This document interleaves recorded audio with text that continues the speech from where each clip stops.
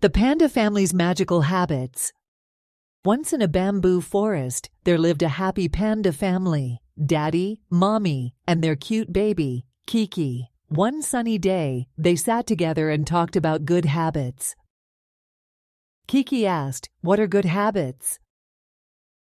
Mommy smiled and said, Good habits are like special tricks that make us feel good and happy. They are things we do every day to stay healthy, kind, and responsible. Daddy nodded. Just like a beautiful song, good habits bring harmony to our lives.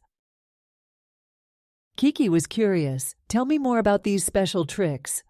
Mommy began. One good habit is eating healthy food. We love eating bamboo, which makes us strong and healthy. Daddy added, Drinking lots of water is also important. It keeps us active and happy. Kiki was excited. What other good habits do we have? Mommy replied, Being kind and polite is a wonderful habit. We say please and thank you to show we care for others.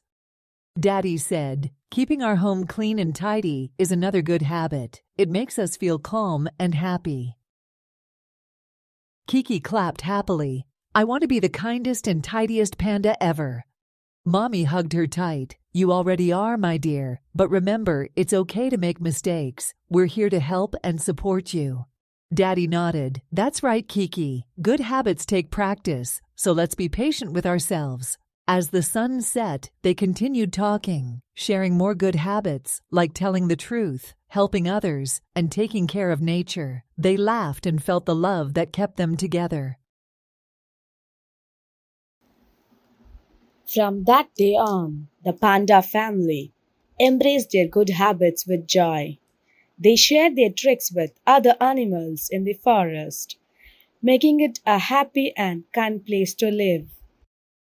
And so, the panda family story about good habits became a wonderful tradition passed down to new panda families. Their love and wisdom made the world a better place to live.